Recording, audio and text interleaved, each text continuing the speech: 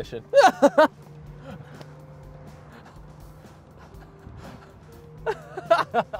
this is this continually uh, haunts us here. Need the keys. All right, now we got the keys. All right, that's key. That's, that's That is key. that is key. You know, you're a wordsmith too. I thought I was the one that was good with words here. I'm the writer.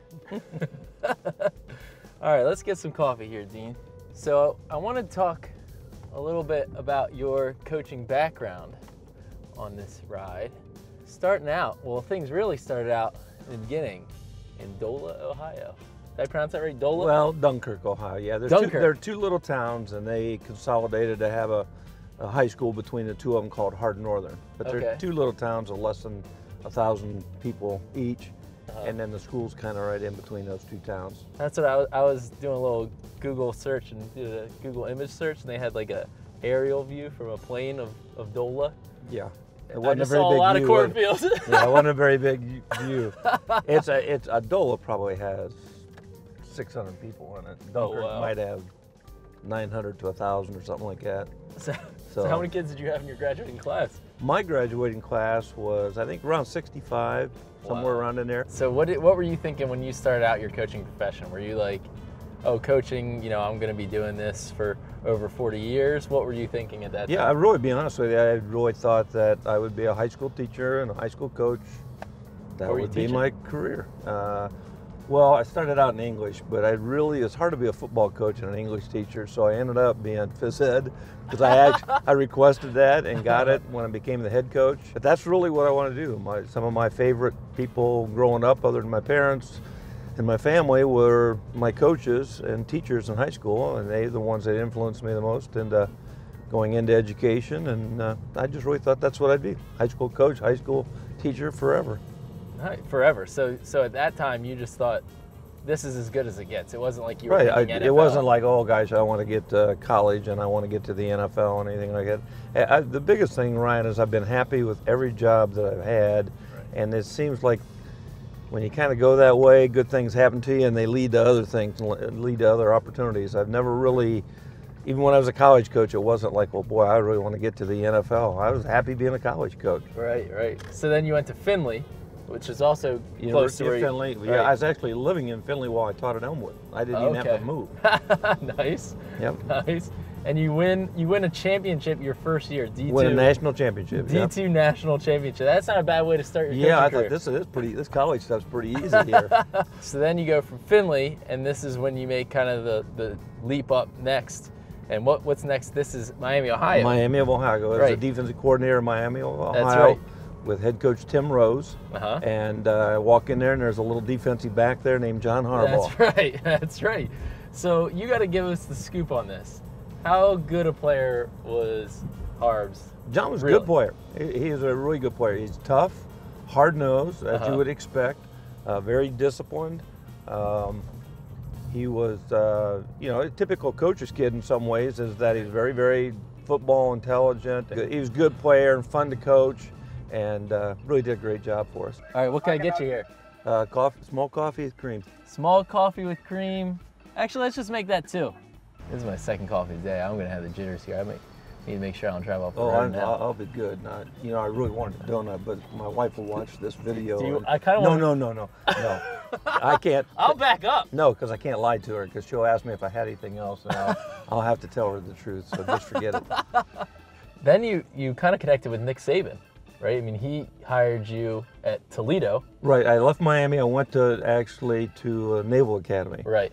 Right. And so that's when you got and- Maryland. And that's yeah, I was Kinda down start. here, and I met a guy named Steve Belichick, Bill's dad, and coached with him. And and Nick had coached here at one point in time at Navy. right. And so when Nick got the Toledo head coaching job, he asked me to come back to be his defensive coordinator. I had never met Nick.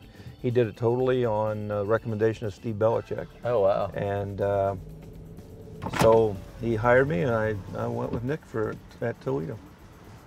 So I mean, that's you start becoming friends with the Belichick family and Sabans and all that. I mean, those people they had to have a huge influence on you as a coach. Right. Well, Nick, they, those those guys have been. I, I've been just blessed with being around you know, Nick and Lou Holtz and Bill Belichick and Gary Pinkel and Tim Rose and you know, a lot of people may not know Dick Strahm, the coach at Findlay, but he was just as big as influence. He- I've been around just great, great head coaches. And John, I mean, I don't know anybody that's been around the head coaches I've been around. I've just been real lucky. Hey, how's it going, man? Good. How are you, sir? Good, how you doing? Doing good. Good. He, has he ever been here or something? Nope. Most of the in the main street all the all, all the time. Yeah, how you doing? So I'm doing good. Good. So we, we have, we're gonna do it next good this season, right? We are going to do it great this season. You got it. Good thing he didn't call you out for the donuts, man. No, I know. I know. That's great. Now, thank you. Yeah, of course, of course. So at this point, like, you know, after you were, you were saying that, oh, well, being a high school coach, like, I was cool with that, you know. At this point, you're coaching, you're having a ton of success on the college level, you're coaching with these other great coaches as well. Like, when does it enter your mind, you know, I, I want to be in the NFL? Well, it never really did, uh, Ryan. It, it kind of, what happened was uh, I became the head coach at Kent State. Right. I really felt good about what we had done there. We had turned the program around with guys like Josh Cribbs Right. and James Harrison and guys like that. Right. So we kind of had things rolling there. And then uh, out of the blue, I get a call from Bill Belichick saying, uh, I'm going to be at the combine in another week, and I just lost my linebacker coach. Would you have any interest in coaching in the NFL? Right. And at that point in time, all of our kids are now out of college or about ready to graduate from college. So I thought, you know, uh, we'll go down and talk to him. Right. And I went down and uh, sat down with him, and he offered me the linebacker coaching job at New England. And I said, yep, I'll take it. And that was it. All right. Then- two years later, I became the coordinator.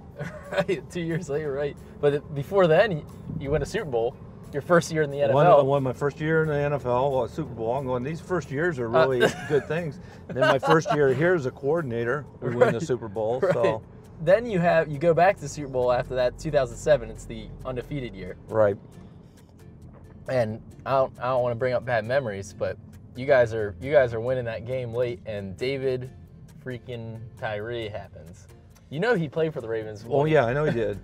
The thing of it is, is that if you really ever watch that whole sequence of that two-minute thing, though, Ryan, you know that play is the one that kind of goes down as the play that kind of won the game for him. Right. We dropped three interceptions in that Oh. drive, and Asante Samuel, who led the league that year with 12 interceptions, which was phenomenal, Right.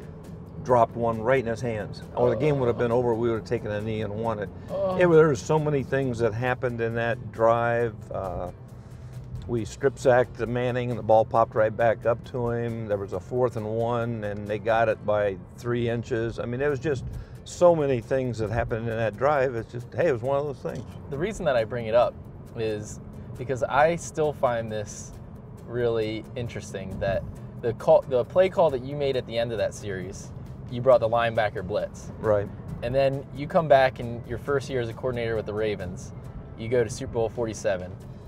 This, the 49ers are on the doorstep. They're knocking. It's fourth down, and you dial up what play? Same blitz. Same exact blitz. that, yeah, pretty that much takes the some blitz. cojones. Well, the thing of it is, the blitz would have worked in the other game too. We we didn't execute it. Uh, we knew that we were going to have a guy free. He hesitated and didn't go, Right. and that was the reason Manning got the ball off. And we really felt like if you really watch the play, that the last play of the Super Bowl in the San Francisco game, you know, Jimmy did a great job of coverage out there. But the guy that really made that play was Dannell Ellerbe Right. pressuring Kaepernick. I mean, he's throwing off his back foot, and it's a bad throw. Right. So, it, you know, a lot of it goes down to the coverage, but th- we had that exact same blitz. We would have had the same guy free in that Giants game, but he hesitated and he didn't go. Right. And therefore, that's why it didn't work. It, it wasn't, it was a bad blitz and it wasn't, Right. it, it was a good blitz. It just, uh, so we gave it a second shot. And I it worked. love it. I mean, I feel like people with Super Bowl 47, like, you know, everybody remembers the the lights going out and you know the Ravens getting off to a big lead and then the comeback and all that stuff. And I, and I just feel like what sometimes gets lost is, I mean, that's one of the best goal line stands in football history. I mean, it's one of the biggest. Well, what was really to me great about it was that you know Ray Ray was in the other day and he and I were talking, and I said, you know, could you have written ever a better story for a Pro Bowl linebacker with your career to go out in a, in a particular game, that be your last game. Right. So many guys stick around and they, you know, maybe don't play as well at the end of their career, and that's what people remember. For Ray Lewis to go out his last game ever on a goal line stand to win the Super Bowl, I mean, that's what you write a movie about. I know, mean, it's seriously. perfect. It's perfect. Did you did you and him ever like when you were coming up with the game plan? I mean, how much were you talking to Ray and being like, "What do you think about this?" Or was he a guy that just like, "Yeah, I'll take the game plan, I'll learn it front to back." You know, what was it like? No, I'll tell you what I did. Every Wednesday morning, we, I had a meeting in the morning before I ever met with the defense. We put the game plan together as a coaching staff. And can you imagine having this meeting? I would have a meeting in my office, and it would be Ray, Ed Reed, Suggs, uh-huh. and Haloti Ngata. Those four guys would be sitting at the table, and I would present them the game plan and say, "What do you think?" right. And 99% of the time they go, yeah, good, good, coach, like it, like it. Right. One time in one game did they say, I had I was going to pressure quite a bit, and they they all looked at me, and I could tell something was up. And go, okay, what's up? What's what's with you guys? Why? Yeah, I know I can tell right now. You, you, you there's something about this. They go, oh, coach, we can beat them with a four-man rush and just play coverage. And I said, look, if Ray, Ed, Haloti, and Suggs think that that's what we can do, that's what we, that's what we did. so and I- wait, and- Suggs wasn't calling for more blitzes. I feel like Suggs, No, you know, I'm telling you what, they felt like we were playing Peyton Manning in Denver in the playoffs. right, And they felt like we could beat him with a four-man rush and not pressure him as much right. and, and play coverage. And that's what we did. And we won. we played great too on defense that day. So, but 90% of the time, they just sit there and go, yeah, coach, we like it. It's good. Right. And uh, they were great. Uh, That was such a great meeting. And I still do it to this day, just not with the same four guys. I usually pick four guys every year and we sit in there and have that meeting. Nice. You know, you talk about blitzing and all that stuff. How much do you love just like getting after it? You know, I mean, like, I blitz every down if we can blitz every down. what's it been like now coaching with John? I mean, it's been great. I, I just, this organization, from Steve Bisciotti to Ozzie to John, I mean, I, I don't know how you get any better at this. Love working for the guys I work for, love working for the guys I'm working with, and uh, I mean, I, this is as good as it gets. who are some of the guys that you feel like? I mean, I know you. It's it's hard to single out, but like some of the guys that you feel like 20 years from now you'll still be really close friends with. You know? Oh, J- Jarrett Johnson, Yeah. uh, Ray, Ray will always be one. Ed will be one. yeah. Um, T says uh, will be one. I, I think Weddle's going to be one. Yeah. You know, I just I think I just feel like I got a real special bond with him right now. But you know, there's so many of them. I mean, I still get calls from guys that I coached 25, 30 years ago, and uh, that's great. And my wife does too. So it, it's. I mean, I still get calls from Harrison, and I've coached against Really? him for a lot of years. Oh yeah, yeah.